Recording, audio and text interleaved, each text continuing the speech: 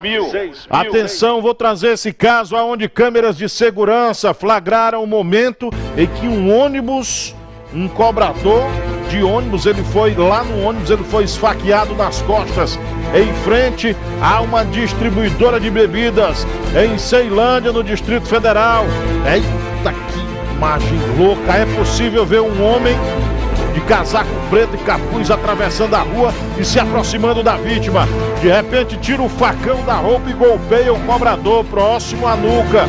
Em seguida, ele foge. A Polícia Civil foi acionada para apurar a motivação do crime. Até o momento, o suspeito não foi preso e a arma usada no crime também não foi encontrada. Olha que loucura! Nesse momento, a vítima foi levada para o Hospital Regional de Ceilândia ele estava com perfurações nas costas, dispneia, hipertensão, suspeita de danos também ao pulmão.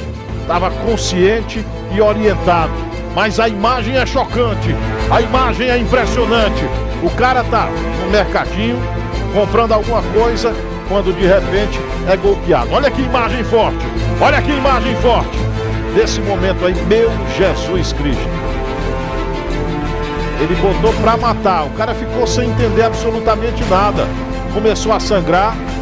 Entra em desespero todo mundo, corre para tentar ajudar e até agora não se sabe o motivo dessa agressão.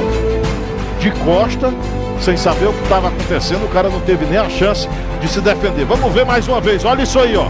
Olha isso aí. Olha o momento que ele é golpeado. Ele está recebendo ali alguma coisa, coloca no bolso e o cara vem. Que motivo teria esse rapaz para cometer esse crime? Que loucura, que loucura. Deixa eu falar aqui.